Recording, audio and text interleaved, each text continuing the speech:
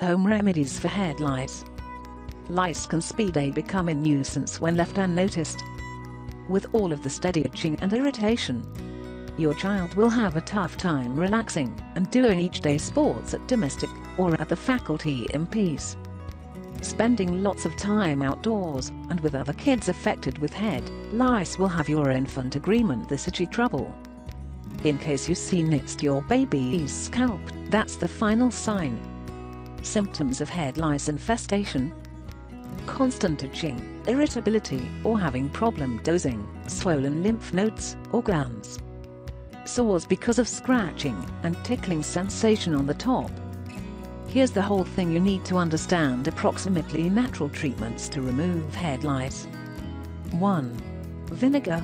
Use distilled vinegar and lightly observe it for your infant's hair. Go away it on for some time and rinse his hair thoroughly with simple water you can vinegar for this case. After you have finished rinsing, to extract the dead lice and nits. 2. Petroleum jelly. Petroleum jelly stops roaming lice and acts as a deterrent. Observe a thick layer of petroleum jelly onto your infant's scalp and preserve it in place with a towel or shower cap earlier than he is going to mattress at night. Whilst he wakes up within the morning, use infant oil and a nit comb to brush away the nits and take away useless lice. 3. Benzyl alcohol. If your baby is bigger than 6 months of age, you can apply benzyl alcohol solution on his scalp and rinse it off with plain water to kill and remove lifeless lice. Repeat this after per week to kill the last lice that hatch out from eggs laid on the scalp. Make certain to sweep with a nit combers properly after rinsing. 4. Onion juice.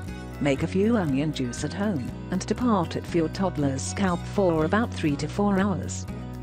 Wipe off the dead lice and nits with a nit comb and rinse the hair very well with shampoo. Repeat this every 3 to 4 days for the great effects. 5. Olive oil. Practice olive oil to your baby's scalp until it appears saturated the olive oil leaves no room to respire for the lice and their eggs and suffocates them to death. After 15 to 20 minutes, comb out the useless lice and follow shampoo to get rid of the extra oil and rinse. Repeat this method in some instances till you spot no greater lice or crimson bumps on your toddler's hair and scalp. Thank you for watching please subscribe and share the video. If you want to share your experience, and extra suggestions please keep in mind to comment underneath.